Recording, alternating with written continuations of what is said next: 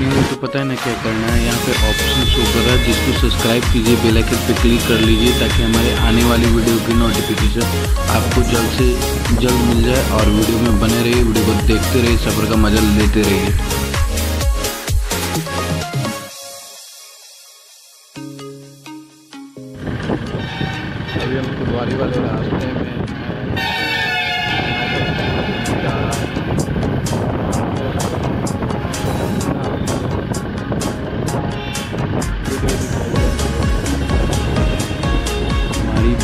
से तेज बाबा की स्कूटी की रफ्तार थी और मैं ये सोच नहीं सकता था।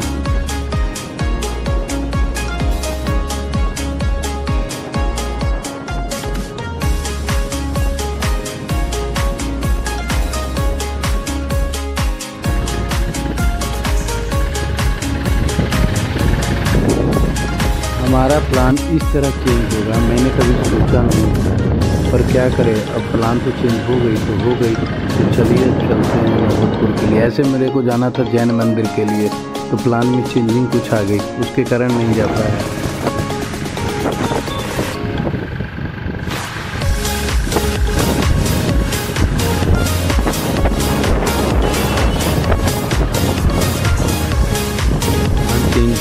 कारण हमें कहीं और आना पड़ेगा। तो होना क्या था?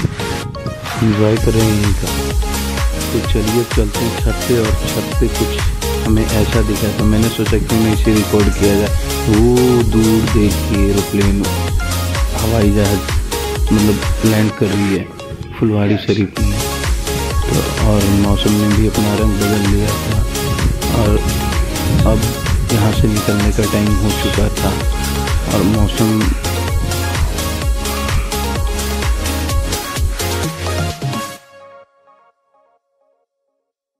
तो अभी हम घर के लिए निकल गए हैं और शाम की साढ़े चार बज रही है। तो चलिए अब रास्ते का मज़ा लीजिए, सफ़र का मज़ा लीजिए, वीडियो कैसा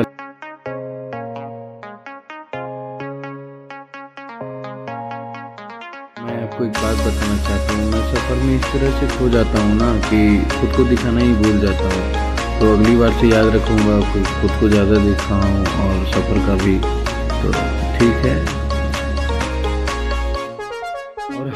लोगों को एक बात और बताना चाहता हूँ कि मैं डेली ब्लॉग तो नहीं बना पाऊँगा, पर कोशिश करूँगा कि वीकली ब्लॉग ज़रूर बनाऊँ बाकी तो आप लोग समझ ही सकते हो।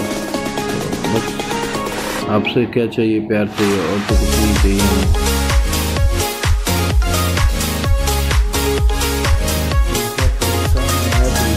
सब्ज़ी मंडी के ऊपर बस स्टैंड की है, और मैं अभी उसी पे राइड करने वाला हूँ बाइक के साथ इंजॉय करने वाला हूँ।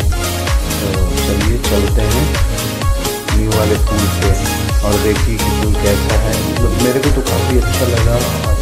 काफ़ी बढ़िया शॉर्टकट भी पड़ती है बस स्टैंड से मीठापुर आने के लिए। तो अच्छी है। तो चलिए, इस पुल के मज़े लेते हैं। अभी तक आ गए हैं। अगर चैनल को सब्सक्राइब नहीं किए हैं और चैनल पर न्यू है तो प्लीज़ चैनल को सब्सक्राइब कर लीजिए और बेल आइकन क्लिक कर लीजिए और अपने लोगों और फैमिली के साथ शेयर करना ना भूलें।